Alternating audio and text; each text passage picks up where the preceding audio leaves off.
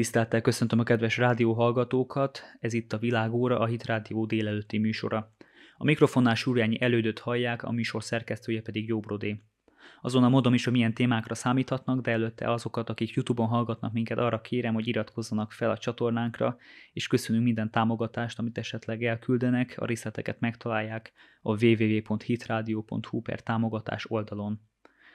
A folytatást illetően pedig gyorsan felvázolom, hogy miről is lesz szó. A műsorunk első egyharmadában így ígyártó István volt kievi nagykövet fog rendelkezésünkre állni, akivel átbeszéljük azt, hogy mekkora annak az esélye, hogy kiterjedjen az orosz-ukrán háború a többi európai országra, és egy orosz-NATO háború jöjjön ebből létre. Utána nem megyünk ma nagyon távolra, Franciaország elnökének, Macronnak a retorikájáról, fotóiról és egyéb dolgairól fogunk beszélni, illetve arról, hogy hogyan fog alakulni Franciaország pozíciója az EU-ban. Sós Eszter Petronella, Franciaország szakértő fog nekünk ebben segíteni. A műsor végén pedig egy viszonylag könnyedebb témát fogunk elővenni, a legújabb magyar filmmel kapcsolatban, a sokak által csak Petőfi filmként emlegetett Most vagy soha című alkotásról fogunk beszélni Dézsi Zoltán Balázs Béla díjas filmrendezővel. Azonnal kezdünk. Az elmúlt két évben sajnos folyamatos téma volt annak a lehetősége, hogy lesz-e harmadik világháború vagy nem, ugye a ukrán, orosz-ukrán háborúhoz kapcsolódóan. Kicsit ennek a témáját fogjuk most érinteni így jártó Istvánnal, aki itt van velem a vonalba. Ő volt kievi nagykövet, és jelenleg a Magyar Külügyi Intézet főtanácsadója. Üdvözlöm! Üdvözlöm, és üdvözlöm egyben a kedves hallgatókat én is. Az elmúlt napokban jelent meg egy olyan tanulmány, a, egy amerikai intézet, a Háborús Tanulmányok Intézete ö, ö, munkája, angolul az Institute of the Study of War ö, munkájában, amely arra hívta fel a figyelmet, hogy most, hogy Putyin megnyerte a választást, ö, tulajdonképpen egy hadigazdaságra fog átállni Oroszország, amelyből ők azt a következtetést mondták le, hogy Oroszország arra készül, hogy a NATO-val fog háborúzni, ezt tenném föl így kezdőkérdésnek rögtön a közepébe csapva, hogy ön szerint ez mennyire reális veszély, hogy valóban tényleg erre készül el most Oroszország, hogy NATO-val háborúzzon? Hát picit elkéstek talán abban az amerikai kollégák, hogy Oroszország már de facto hadigazdaságként működik, hiszen ez erre kényszeríti számos körülmény, többek között az, hogy ugye korlátozottan tud csak hozzáférni a nemzetközi piacokhoz, ahonnan fegyvereket vagy nyersanyagokat kell beszereznie, és ezért látszik, hogy fölfutott 2023-ban feltétlenül a haditermelés. Ugye üzönlik is a számos fegyver és mindenféle más fejlesztés ki a frontra. Ez az egyik talán, amiben úgy gondolom, hogy, hogy, hogy ez már az zajló folyamat. A másik pedig az, hogy ugye az orosz gondolkodásban, és ezt Putyin többször is megjelenítette beszédeiben egyéb helyeken, ők már most is a NATO-val harcolnak, úgy vélik, tehát az ukránokat leginkább csak egyfajta szerencsétlen áldozatként láttatják, akik nyilván a politikusaik hibáiból fakadóan, vagy téves döntéseiből fakadóan áldozati bárányai lettek egy alapvetően nyugat és Oroszország között zajló konfliktusnak, és ők ugye a közvélemény felé is, és ez talán hozzá is járult, Vladimir Putyin nagyon széles körű, és hát ugye most már számokban is mérhető támogatásához, hogy úgy láttatják ezt a háborút, amely egy civilizációs harc valójában Oroszország és a nyugat között.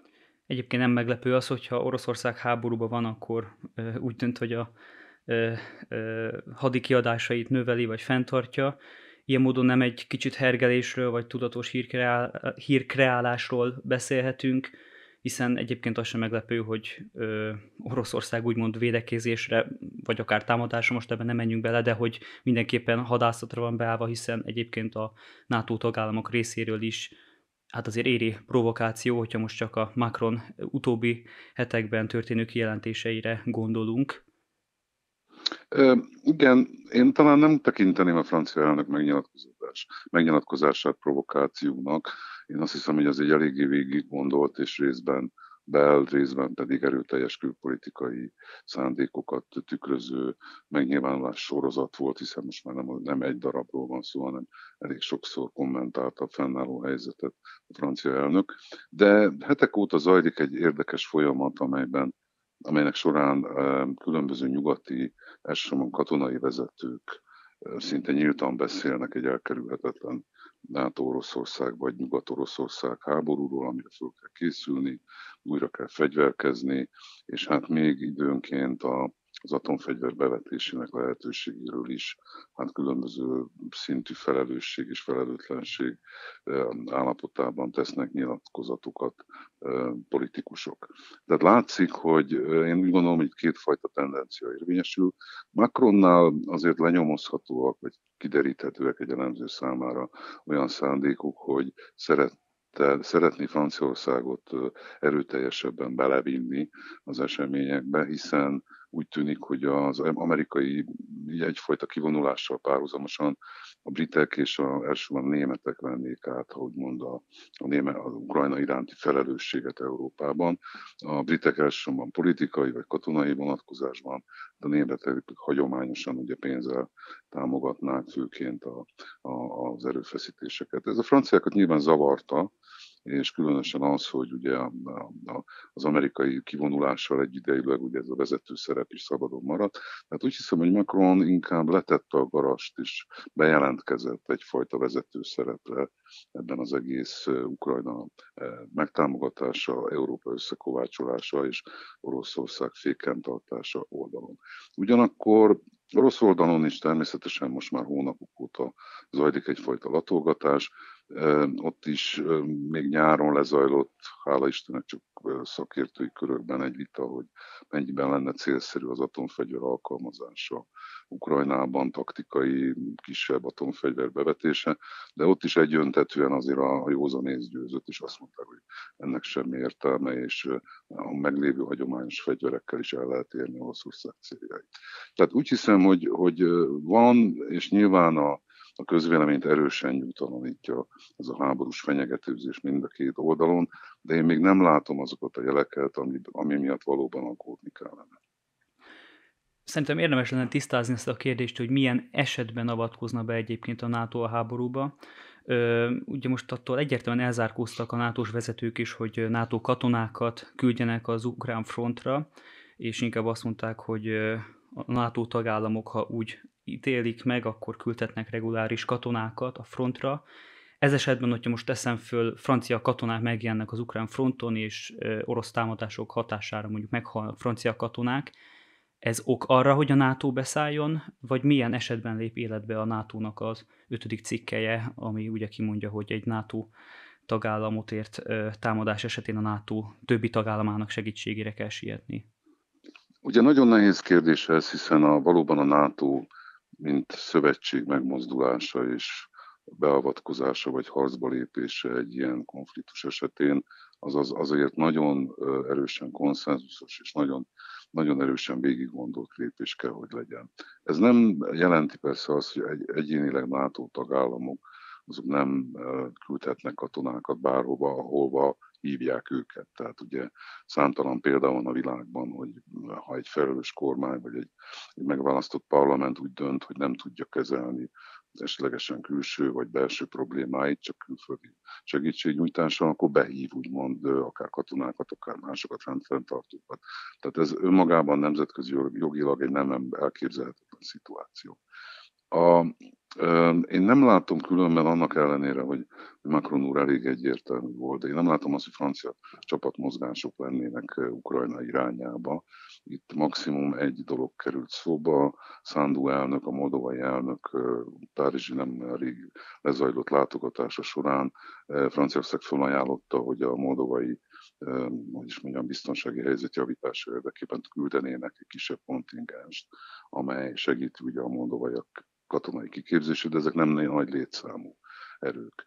Fontos láttatni azt is, hogy, hogy orosz vélemény szerint, de független információk szerint is már elég nagy számú külföldi ilyen-olyan minőségben tevékenykedő katona így is van Ukrajnában, sőt volt olyan híradás, hogy egy, egy, egy orosz rakéta találat következtében elég sok francia tiszt és különböző szintű katona halt meg, és hogy ez is talán Macron-t dühítette, vagy hergelte Oroszország irányába, de mindenféleképpen látható az, hogy ezeknek a különböző harceszközöknek, amelyeket a nyugat már két éve folyamatosan rendelkezésre bocsát. Ezekhez kellenek szakértők, kell valaki, aki ezt karban tartja, aki betanítja az ukrán személyzetet, hogy ezt hogy kell kezelni. Tehát mindenféleképpen már most is vannak ott katonák, akik ki lehetnek téve a harci cselekmények közepette csapásoknak, különböző bombázásoknak, egyebeknek.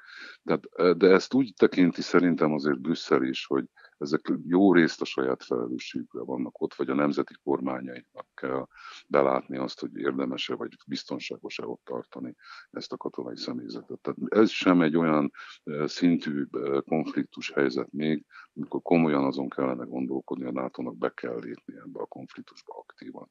Ez más kérdés, hogy azt viszont fölvetik elég sűrűn ukrán részről, és talán most már a lengyelek részről is, hogyha hogyan lehetne tehermentesíteni mondjuk az ukrán hadsereget, amely a belorusz határ mentén elég nagy számú, nagy, nagy létszámú csapatokat kénytelen állomásoztatni, hiszen onnan folyamatosan fenyeget egyfajta inváziónak a lehetősége, és akkor talán, hogyha az ország nyugati részébe egyfajta rendfenntartó, meg biztosító szerepbe megjelennének a NATO által, vagy egy, egy NATO tagállamok által küldött csapatok, ez Ukrajnának egy óriási segítség lenne, hiszen Ukrajna súlyos emberhiányjal küzd már ebben a fázisában a háborúnak.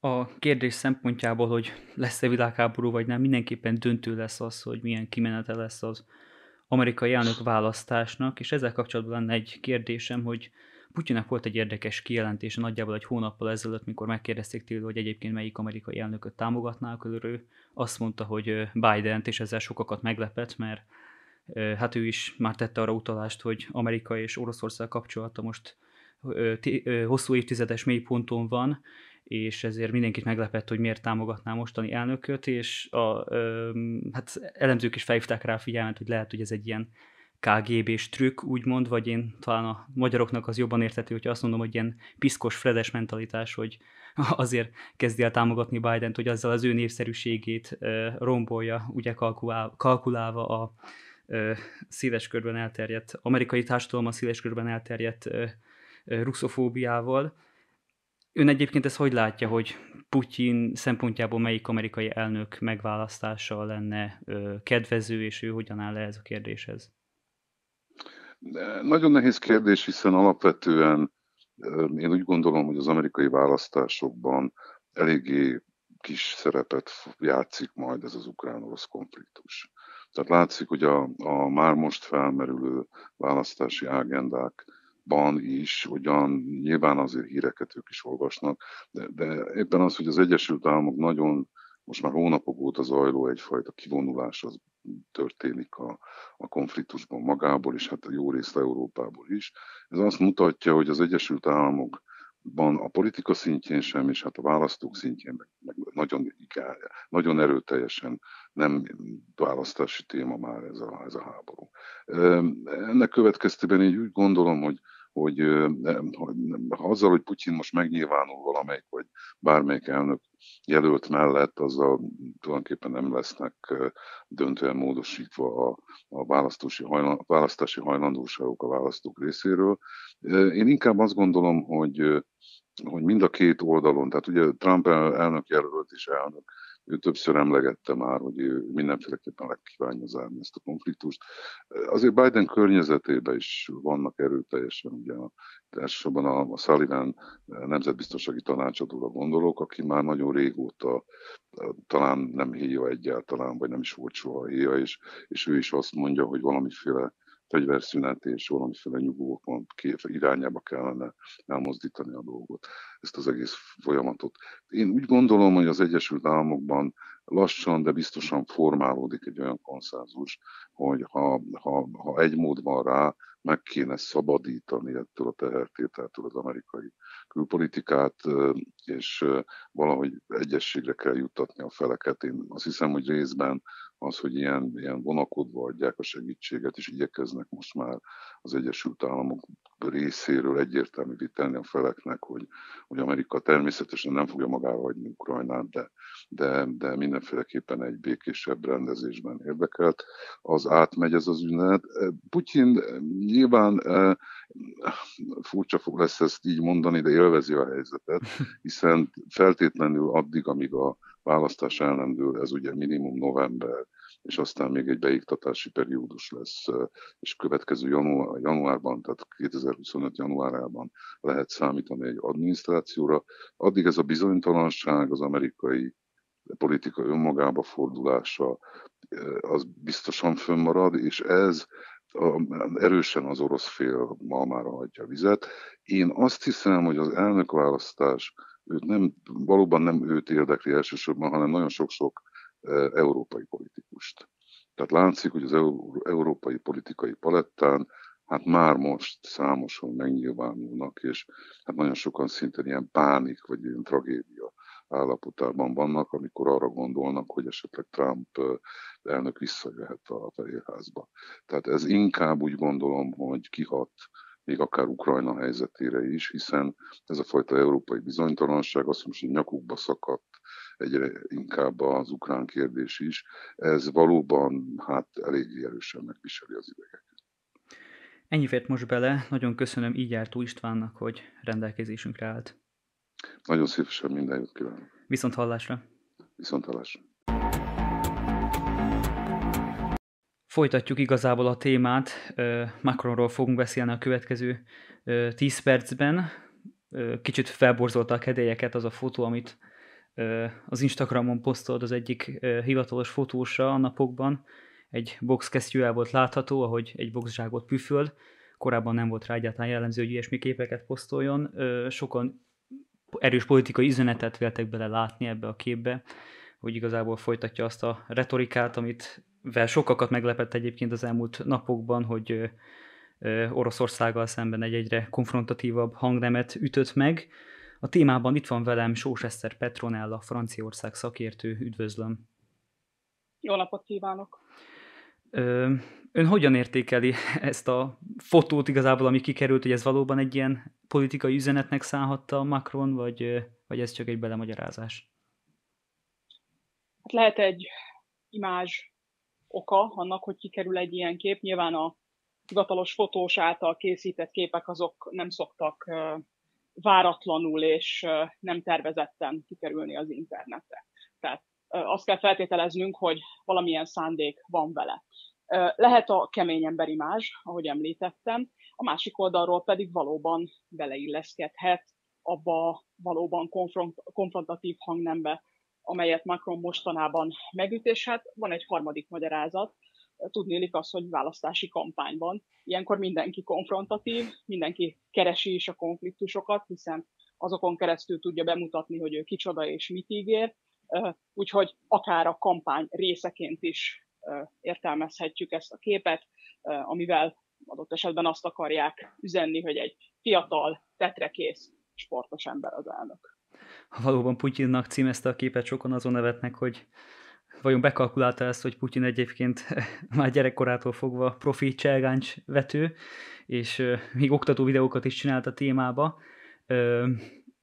Persze most valószínűleg nem fog közöttük semmilyen összecsapásra sor kerülni, ezt csak így elszoktak vele játszadozni, de egyébként a orosz néplélekre ez jellemző, hogy ők igényelnek egy olyan vezetőt, aki, hogy is mondjam, benne van a vérébe, úgymond ez a macsóskodás, tehát hogy is mondjam, ilyen hadvezér jellegű viselkedés.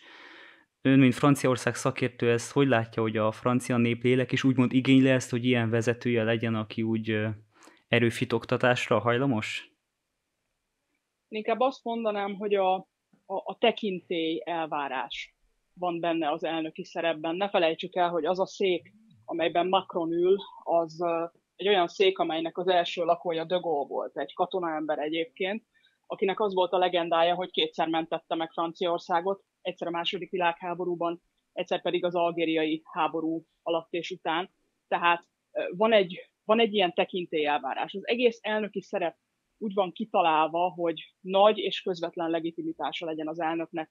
Ugye nem véletlenül közvetlenül választják a franciák, és általában a franciák nem értékelik, hogyha az elnök gyengének tűnik.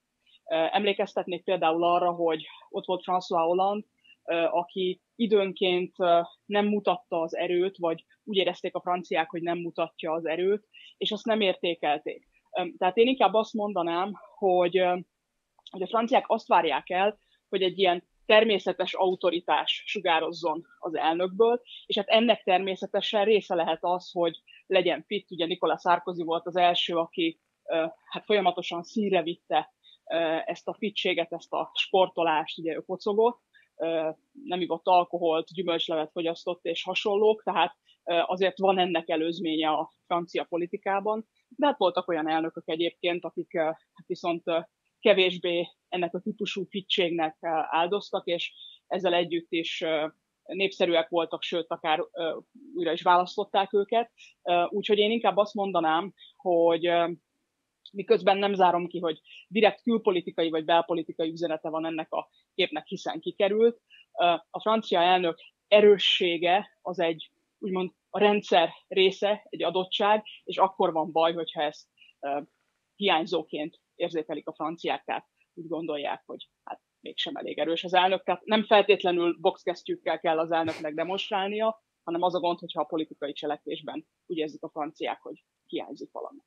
Kicsit térjünk ki Macronnak a elmúlt hetekben történő kijelentéseire, melyekre már utaltam is, hogy megfogalmazta, hogy ő támogatná azt, hogy katonákat küldjenek az ukrán frontra, tehát NATO katonákat, vagy pedig francia katonákat. Egyébként ez mennyire élvez támogatást a francia társadalom köreiben? Nem, nem élvez támogatást. A megkérdezettek több mint 60 százaléka, ha jól emlékszem, olyan 68 százaléka mondja azt, hogy ő ezt nem szeretné, tehát egy szűk egyharmad talán, aki erre nyitott, de hagyd tegyem hozzá, hogy a megfogalmazás az úgy hangzik, hogy sor kerülhet erre, és uh-huh. nem lehet kizárni. Úgyhogy itt Emmanuel Macron nem elsősorban arról beszél, hogy ő katonákat szeretne küldeni, inkább a kiszivárgó mondatok, meg az elhangzó mondatok olyasmi kontextusban értelmezendők, hogy rákényszerülhet, illetve azt kell látni, hogy volt egy pillanat két évvel ezelőtt, amikor Macron az előbb említett gyengeséggel kritizálták. Fölmerült annak a lehetősége, illetve hát vitatták annak a lehetőségét, hogy mi van akkor, hogyha Ukrajnában nukleáris támadásra kerül sor. És Macron kimondta egyértelműen, hogy erre ő nem válaszolna hasonlóan. És akkor azzal kritizálták, hogy gyengíti Franciaországot, szűkíti a mozgásteret, mert hát előre megmondja, hogy mi nem lesz.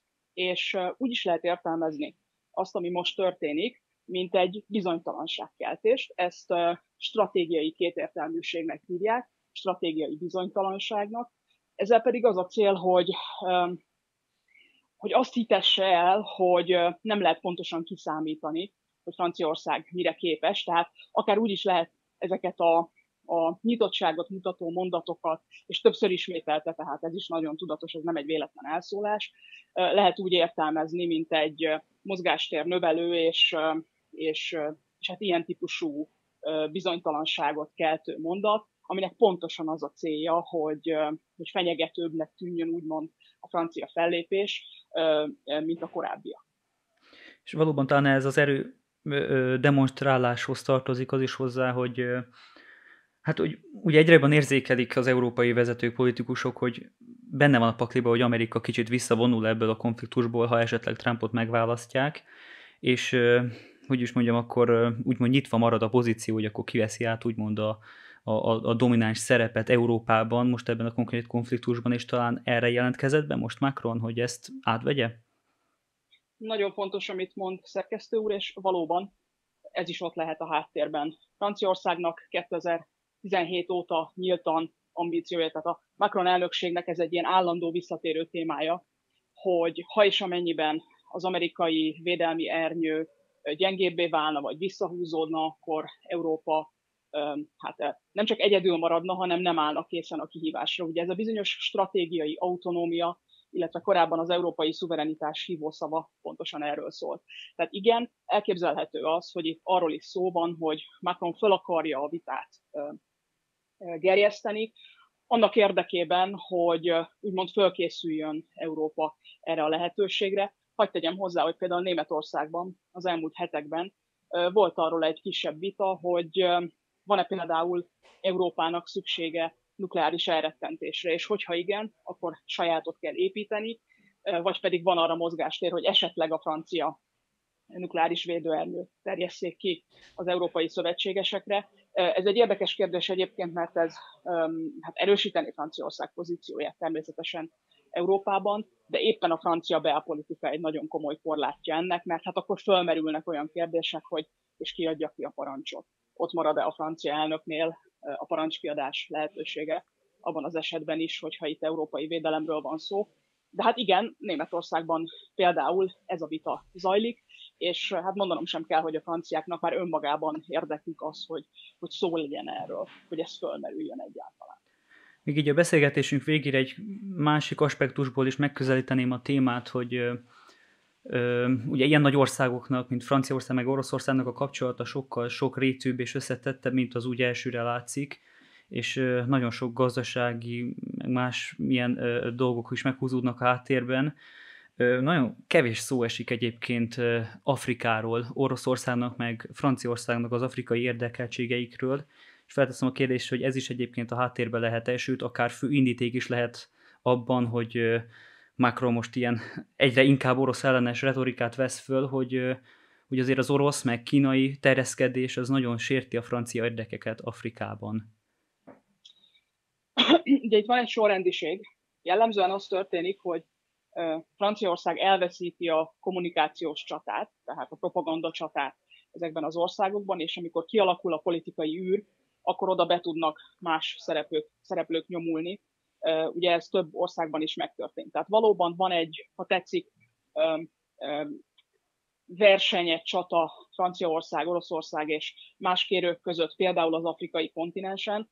Ez a feszültség ott van, ugyanakkor amit hát érzékelni lehet abból, hogy itt az elmúlt két évben hogyan alakult Emmanuel Macron gondolkodása Oroszországgal kapcsolatban, hát nagyon úgy tűnik, hogy ennek a története egészen a telefonbeszélgetésekig megy vissza. Ugye ő volt az egyik olyan európai vezető, aki a legtovább tartotta nyitva a kommunikációs csatornákat, és ő volt az, aki a legtovább próbálta magát egyfajta közvetítőként, egy lehetséges közvetítőként pozícionálni, míg nem egyébként ennek hát úgy vetett véget, hogy tavaly Pozsonyban Közép-Kelet-Európa mellé pozícionálta magát, tulajdonképpen bocsánatot kért Közép-Kelet-Európától azért, mert hogy Franciaország nem vette komolyan az Oroszországgal kapcsolatos félelmeiket, és élére állt mondjuk úgy, hogy ennek a héjább álláspontot betöltő országcsoportnak, de ennek elsősorban az volt az oka, hogy Franciaország sok szempontból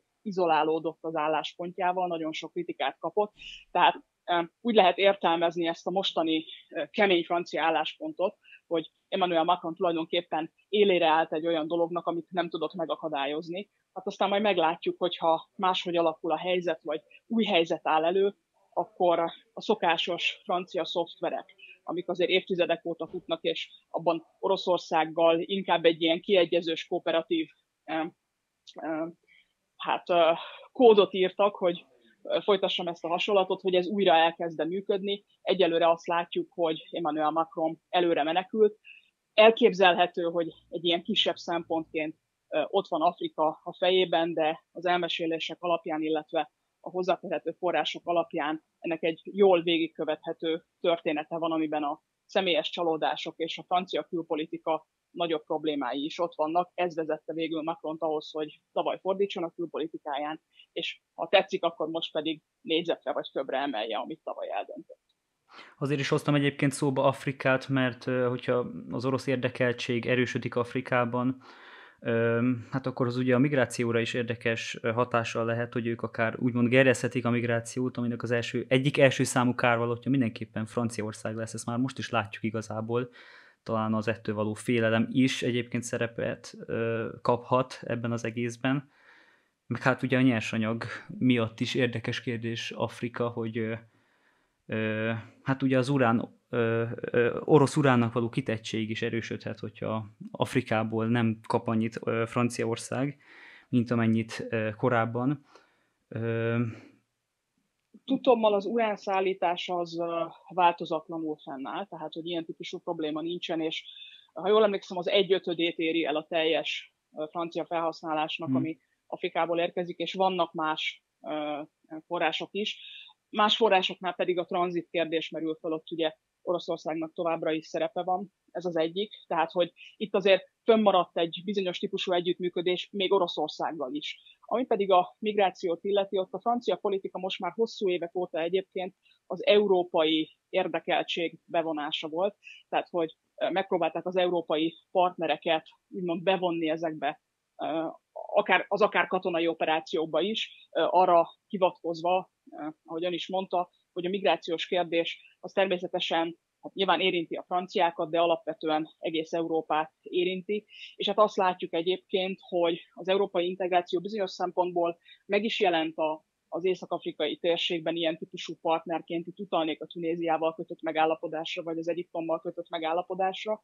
Tehát, hogy ez elindult, azzal együtt is, hogy természetesen a franciákkal együtt az európaiak is, hát logikusan, amikor a franciák elvesztették a pozícióikat, hát maguk is kiszorultak. Ennyi fért most bele ebbe a műsor szekcióban. Nagyon köszönöm Sós Esztere Petronellának, Franciaország szakértőnek, hogy rendelkezésünkre állt. Köszönöm a meghívást. Viszont hallásra!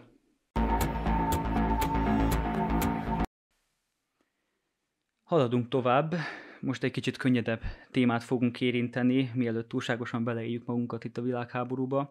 Egy olyan témát fogunk érinteni, amit egyébként nem gyakran tárgyalunk itt a Hit Rádió keretein belül, a magyar filmipart fogjuk most érinteni, azon belül is egy elég aktuális filmet, egy olyan filmet, ami egyébként meglepően nagy megosztást hozott a magyar közbeszédben, nem is emlékszem nagyon ilyen filmre, ami ennyire megosztó volt. Már a debütálása előtt is, talán a pár évvel ezelőtt debütált Gyurcsány film volt hasonló.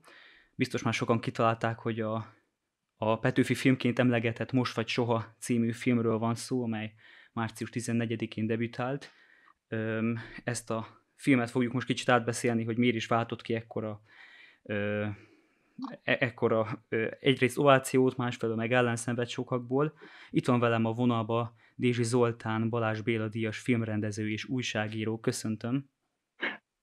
Üdvözlöm a hallgatókat én is. Először is talán azt kérdezném, hogy ö, milyen várakozásokkal ült be ön a moziba, amikor megnézte ezt a filmet, és aztán mikor kijött a moziteremből ez ö, hogyan változott, vagy milyen benyomást keltett önben a film? Kezdjük azzal, hogy én már egy évvel ezelőtt is vártam ezt a filmet, mert eredetileg a Petőfi évről, évről évre kellett volna, hogy elkészüljön. Az alkotók szerint a Covid miatt csúszott egy évet. Tehát én már egy évig vártam, egy évet készültem arra, hogy na, akkor most beülök és megnézem azt a filmet, amelyről azt mondták, hogy ez olyan, olyan fantasztikus lesz, amelyet a költségvetése indokol. Tehát nagyon kíváncsi voltam, és készültem rá.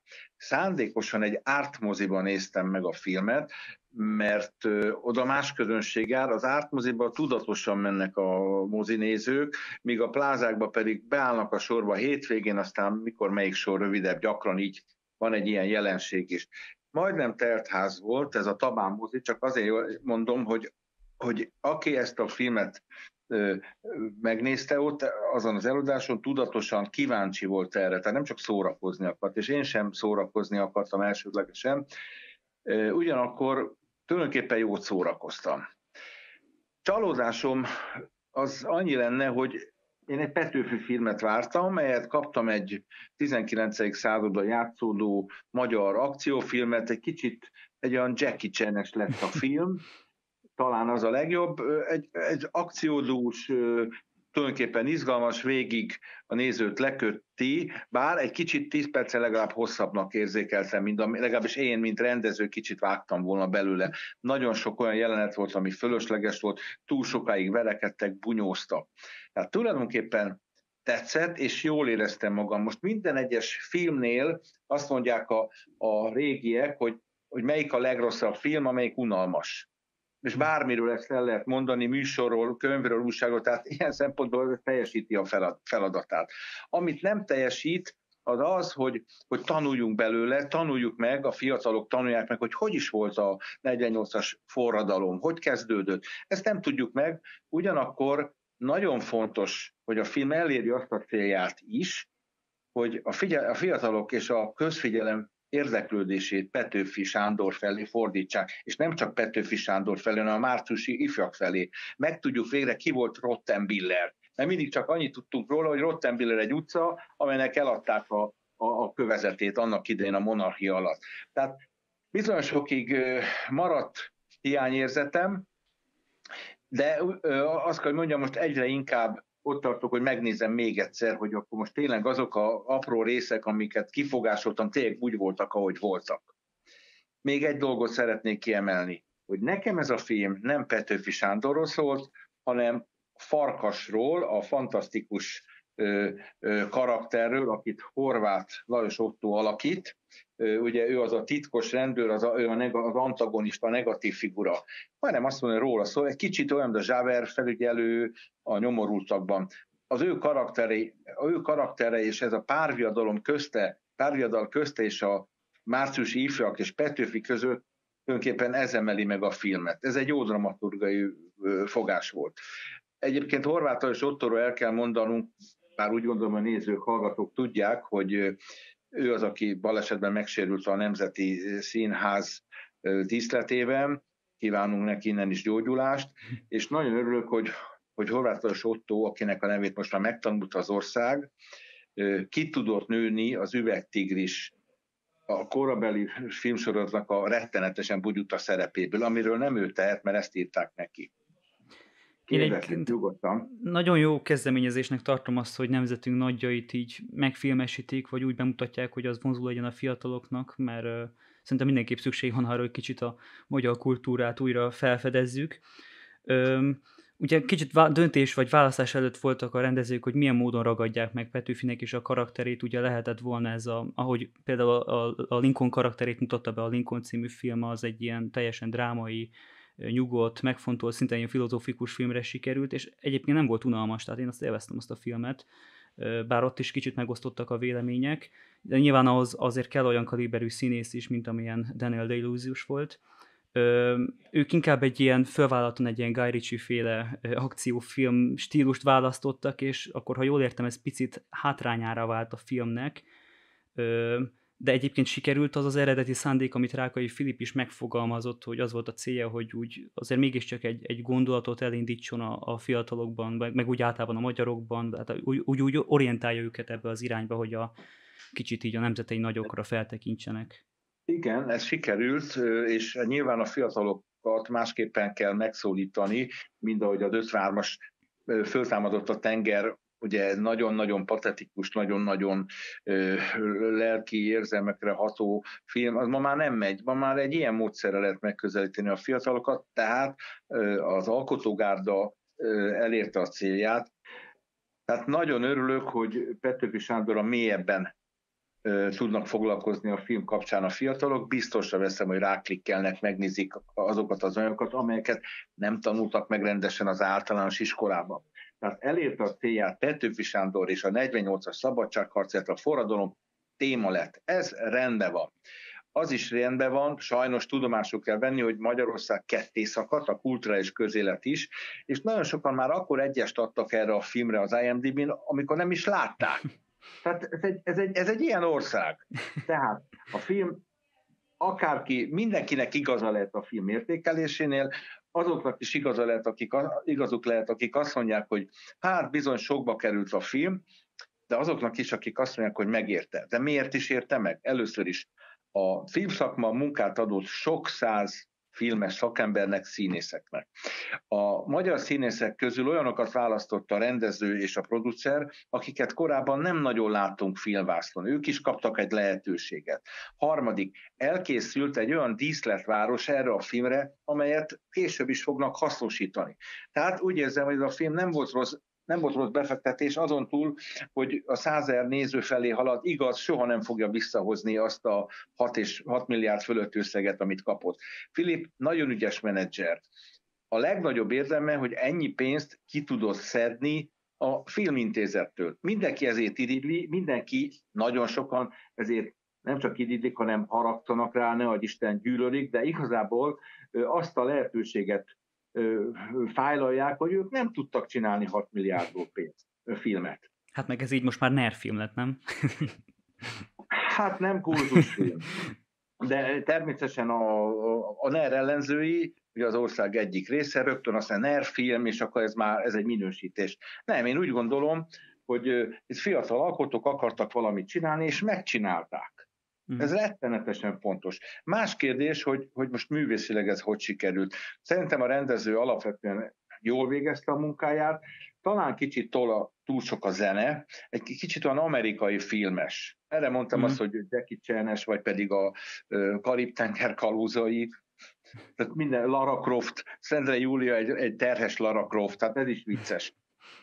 Egyébként nem egy hálás szerep ilyen történelmi nagyokat eljátszani, mert ugye az embereknek már van egy előképe arról, hogy milyen lehetett az ő karakterát, főleg Petőfiről, szerintem minden magyarnak van egy elképzelése, hogy milyen lehetett, és aztán ezt felvinni mozivászonra, hát szinte majdnem nem garantált, hogy valamilyen szinten csalódás lesz, mert, mert nem lehet ugyanazt alakítani. Felteszem a kérdést, hogy egyébként mennyire volt jó választás ön szerint Berettyán Nándor. Én egyébként láttam az előzetest, és őszintén szóval nekem egy picit nem volt túl meggyőző, tehát olyan, ö, ö, hogy is mondjam, tehát ne, nem, nem jött át az, az a karakter, ami úgy Petőfihez de kicsit olyan ö, súlytalannak éreztem őt a főszerepbe. Ön, ön hogy látja? Én a film 20 percig nem tudtam megkülönböztetni a szereplőket, bevallom. Egyrészt ugyanúgy néztek ki, ugyanúgy viselkedtek, ugyanolyan életkorúak, most a márciusi évfakról beszélek, de nehezen tudtam megkülönböztetni egy darabig a Petőfit alakító színészt a többi márciusi évfutól, aztán ez, ebbe belejöttem. Nehéz, nehéz ezt is most meg, megmondani, hogy most a, mennyire jó ez a Petőfi. Én úgy gondolom, hogy az utoljára, most a, a, az elmúlt évtizedekben nagyon nem volt Petőfi filmünk, 1953-ban Görbe János alakította Petőfit. Na most a Görbe János féle Petőfi egy, egy patetikus, a hazáért azonnal halni képet, képes és meg is akaró karakter, és kaptunk a Beretyán kollega személyében egy olyan, egy olyan Petőfit, aki húsvér ember, aki, aki szeret, aki humoros, aki játékos, egy másfajta Petőfit kaptam. Ez a, ez a rendező koncepciója lehetett mindenféleképpen, és én úgy gondolom, hogy a hasonlatosságon túl azért többet, többet is hozzátett Beretyán a, a Petőfi karakterhez. Ezt egyébként ki is emelte, hogy egyébként nem az volt az ő szándéka, hogy most nagyon történelmileg hitelesen bemutassák azt a kort, vagy akár Petőfi szemét, hanem valóban kicsit inkább ilyen inspiratívra szánták a filmet, és hát ezt úgy ö, szembe is állította, ugye, akik emiatt kritizálták a filmet azzal, hogy hát a mai vók világban igazából az összes film mondhatni történelmileg ö, hát eléggé bics, ö, hogy is mondjam, biceg, hiszen most már szinte ilyen alapkvótának számít az, hogy benne kell lennie ö, fekete bőrűeknek, nőknek főszereplőként, tehát ez úgy, úgy megbolygatja a dolgot. Hát, ez egy teljes agyrém, és én azt, azt mondom, hogy ez el fog múlni, vagy összedől a világ, mert ez nagyon rossz irány, hogy, hogy meg, ennyire meg kell hamisítani a történelmet, vagy ennyire meg kell felelni különböző elvárásoknak. Szerencsére ez nem, nem fenyegeti a magyar filmeseket, és úgy gondolom, hogy egy új ideig nem is lesz ilyen, veszély. Amit még szeretnék erről elmondani, hogy a 75 ezer néző, ami volt néhány nappal ezelőtt, és most már 100 ezer, azért ez egy ez nagyon erős. És akkor is, hogyha ha ez nem jelenti azt, hogy mindenkinek tetti. De az, hogy elmennek a moziba, és foglalkoznak vele, és beszélnek róla, és ez még sokáig, nagyon sokáig téma lesz. Ez azt azt mutatja, hogy igenis jó, hogy elkészült ez a film. Nem akarok ilyen apróságokat, de most már elmondom, de például zavart a betűtípus. Nekem a korabeli 48-49-es betűtípus a a tíz, az akkori időszak betű, kinyomtatott betűi, azok tetszettek volna, arról nem beszél, hogy nagyobb betűkkel is. Vagy az elején rögtön Buda, kötőjel Pest, játszódik Buda, kötőjel Pesten. Nem, Pest-Budán. Ez annyira bántó volt, és elnézést, hogy ezt szóba hoztam. Nem értem, hogy miért nem volt egy supervisor, vagy superlektor, aki így is átnézte a filmet. De nem akarok kötözködni. A legfontosabb, én gratulálok az alkotóknak, embertelen munka lehetett ezt összehozni. Nézhető, szórakoztató film, élményt ad, és tulajdonképpen ez a film célja. Ez a, ez a legfo- azon túl, hogy hogy, hogy ráirányítja egy eseményre a figyelmet, amelyet a néző majd otthon tovább gondol, illetve utána néz. De ha, ha egy teljesen tényszerűen lett volna a film talán nem is lett volna ilyen izgalmas, és akkor az egy oktatófilm lett volna. De, ne, de az alkotók nem, nem ez volt a céljuk az az érdekes, hogy szinte minden lejáratás igazából csak jót tesz a kasszának, mert annál nagyobb érdeklődést vált ki az emberekből, hogy na, akkor ők is szeretnék a saját szemükkel látni ezt a filmet. Egyébként engem is kíváncsi vált, tehát biztos, hogy meg fogom majd előbb-utóbb nézni. És az már szerintem önmagában felüldülés lesz, hogy egy olyan filmet látok, ami nem lesz tele pornó jelenete meg trágársággal, mint a legtöbb mai film. Igen, Úgy, és hogy... nagyon fontos, nincs benne, nincs benne céltalan ahogy, besz, ahogy mondta, trágárság, nincs benne céltalan erőszak, harc van, egészen más, nincs benne semmi olyan, ami, ami fölzaklatja a néző lelkét, tehát ez egy nézőbarát mozi. Ez mhm. rettenetesen fontos, nem csapja be a nézőt, azáltal, hogy vállalt, ez egy szórakoztató kategória. Teljen jól az idő, úgy jöjjünk ki a moziból, hogy éreztünk valamit, átkaptunk valamit. Igen, tulajdonképpen egy szim, ma már minden egyes film egy szimfónia, végig szól a zene, itt egy kicsit sok, sok zene volt, de a legfontosabb, hogy meg kell nézni a filmet, teljesen igazam a Filipnek, mindenki nézze meg. Mindenki nézze meg, és akkor alkottat véleményt, és ha utána beír az IMDB-be, meggyőződésem, hogy, hogy messze a pozitív értékelések fognak dominálni. Így van, hát ezen a ponton igazából csak azt kell, hogy a nézők maguknak eldöntsék, hogy hogy tetszett nekik a film, aki pedig nem akarja megnézni, az nézheti a Netflixnek a Fekete Kleopátráját. Igen, de van meg egy-két szörnyű film a Netflixen. Nagyon szépen köszönöm Dézsi Zoltánnak, hogy itt volt velünk a vonalba, ennyi fért most bele, én ezzel elköszönnék. Köszönöm szépen. Köszönjük, hogy itt volt, viszont hallásra. Ez volt a Világóra, a Hitrádió délelőtti műsora. Ha tetszett a videó, kérjük, hogy iratkozzanak fel a csatornánkra, lájkolják a videót, kommenteljenek, hogy minél több emberhez eljuthassunk. Surjányi elődöt hallhatták itt a mikrofonnál, a műsor szerkesztője pedig Jobb Rodé. Szép napot kívánunk!